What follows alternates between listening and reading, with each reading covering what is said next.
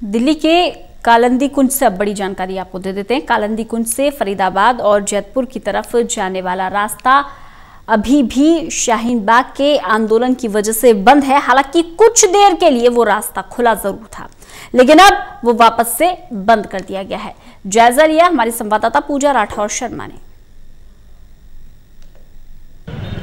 शाहीन बाग की वजह से उसके आसपास के जिन जिन रोड्स को ब्लॉक किया गया था, हालाँकि सुबह खबर ये आई कि एक जो रास्ता है वो खोल दिया गया है और वो रास्ता है नोएडा से फरीदाबाद जाने वाले लोगों के लिए, नोएडा से बदरपुर जाने वाले लोगों के लिए, लेकिन वो रास्ता खुला नहीं है। वापस उसे बंद कर दिया गया है, वापस यहाँ बैरिकेटिंग लगा दी गई है और कहीं ना कहीं जो जिस तरह की स्थिति पहले बनी हुई थी, अभी भी स्थिति वहीं बरकरार है। सिर्फ़ दोपहिया वाहन ही यहाँ से जैसे तैसे निकल पा रहे हैं, लेकिन अभी भी जो गाड़ियाँ हैं, वो वापस यहीं से घूमकर आश्रम से होते हुए जाएगी। यानी जो सफ़र है, वो अभी भी लंबा है। सफ़र जो है, वो अभी भी जो है काफ़ी परेशानी भरा रहा है। तो यहाँ पर ये एरिया खोला ज़रूर गया था। आपको भी खबर मिली होगी कि यहाँ बैरिकेड न्यूज़ देखी है। हमने न्यूज़ देखी है टीवी पे। आज तक पे और एनडीटीवी और और भी चैनल है।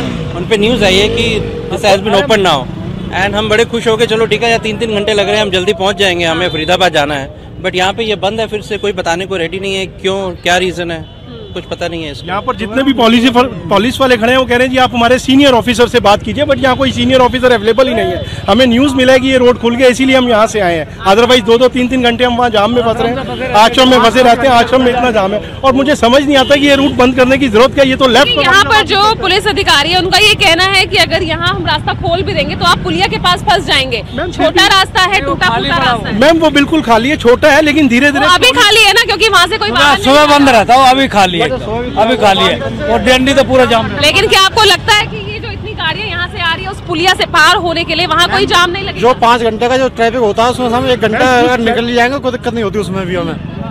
मैम कुछ ट्रैफ़िक डाइवर्ट हो जाएगा जिसकी वजह से एटलीस्ट कुछ लोग तो निकलेंगे धीरे धीरे स्लोली निकलेंगे और डीएनडी के ऊपर तो हम ढाई ढाई तीन तीन घंटे जाम में फंस रहे हैं। पहले कितनी देर में पहुँच जाते पहले यहाँ से हमें 45 मिनट्स में फरीदाबाद पहुँच जाते थे हम।